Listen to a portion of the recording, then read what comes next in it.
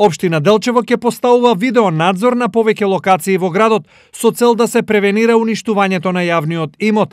Видео надзор ќе се поставува на три локации: пешачки мост Гоце Делчев, детско игралиште во населба Ново Делчево и тениско игралиште во населба Спортско рекреативен центар.